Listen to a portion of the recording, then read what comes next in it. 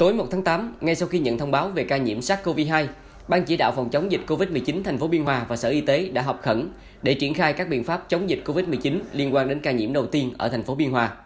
Bác sĩ Bạch Thái Bình, giám đốc Trung tâm Kiểm soát bệnh tật tỉnh cho hay, bà BTTG sinh năm 1970, ngụ tại đường Hồ Văn Đại, khu phố 3, phường Quang Vinh, thành phố Biên Hòa, dương tính với virus SARS-CoV-2 sau 2 lần xét nghiệm.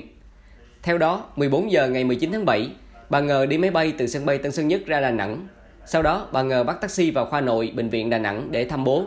Tại đây, bà Ngờ gặp bệnh nhân số 510 là chị gái ruột, lúc này chưa phát hiện bệnh, khoảng 8 phút. Đến ngày 25 tháng 7, bà Ngờ bay từ sân bay Đà Nẵng về Tân Sơn Nhất trên chuyến bay Jetstar số hiệu DJ671 ghế 7F. Khi xuống sân bay, bà Ngờ bắt xe về Biên Hòa. Trên xe có khoảng 7 người và đi bộ về nhà. Hai ngày sau, ngày 27 tháng 7, vợ chồng bà Ngờ đi xét nghiệm tại Bệnh viện Đa khoa Đồng Nai và kết quả âm tính lần đầu. Từ ngày 27 đến 30 tháng 7, gia đình bà Ngờ tự cách ly tại nhà và không tiếp xúc với ai. Sau khi thông tin chị gái bà Ngờ mắc Covid-19 thì tối 31 tháng 7, gia đình bà Ngờ được đưa vào cách ly tập trung tại Bệnh viện Đa khoa Đồng Nai và lấy mẫu xét nghiệm. Ngày 1 tháng 8, bà Ngờ được xác định dương tính với virus SARS-CoV-2 và chuyển vào Bệnh viện Phổi tỉnh để điều trị. Cái người tiếp xúc là rất ít. Thì à, nếu như tất cả những thông tin chúng ta đang có thì Ờ, có chồng và con thì hiện nay đang cách ly trong bệnh viện Đồng Nai rồi.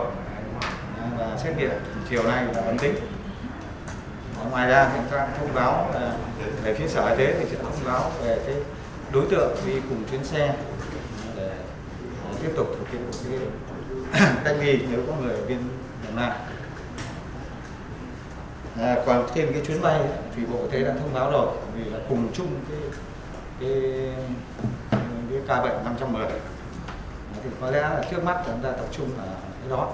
Thì có những kết quả điều tra có cái gì bổ sung thì tôi sẽ thông báo để chúng ta triển khai không cần trừ nữa các anh chị.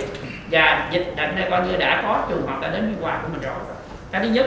Cái thứ hai á thì tôi cũng đề nghị là đối với lại um, cho nên đề xuất thêm là đối với lại sở y tế với lại uh, trung tâm diễn soát dịch bệnh đó, cái gì các anh chị cũng giúp dùm gấp dùm cái này là giờ cái trường cái khai báo dịch tễ á, thì đó như các ông chí nói là hiện nay là do gia đình đã làm à, đã cách ly hết rồi.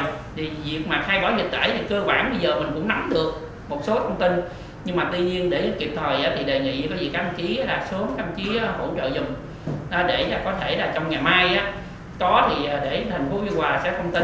Đề nghị là các ông chí sau cuộc họp này các ông chí về các ông chí có trao đổi liền. Mà nhất là đối với lại à, các cái chủ của mấy quán này đó thì các anh chị trao đổi. Tại vì tôi nói ví dụ như chỗ anh cường nói đúng á cái quán cơm giờ này là chắc người ta mua đồ hết rồi đó bắt đầu người ta làm rồi đó. Thì giờ mình đề nghị là ngày mai là mình phải khử khuẩn liền ở những cái nơi này. Lãnh đạo thành phố Biên Hòa yêu cầu đích thân chủ tịch ủy ban nhân dân các phường Tam Hòa, Quang Vinh và Bửu Long vận động các chủ quán có liên quan đến ca nhiễm Covid-19 này phải tạm ngưng hoạt động 14 ngày và ba phường nói trên chưa thực hiện cách ly khu dân cư. Lãnh đạo thành phố Biên Hòa cũng yêu cầu lực lượng công an các phường và thành phố phải rà soát, giám sát chặt chẽ việc tự cách ly tại nhà đối với tất cả các trường hợp đi về từ vùng dịch như Đà Nẵng, Quảng Nam, Quảng Ngãi, Hà Nội nhằm đảm bảo phòng chống dịch.